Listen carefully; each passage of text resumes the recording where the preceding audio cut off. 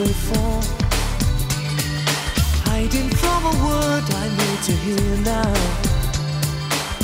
Don't think I'll hear it again. But the nights were always warm with you.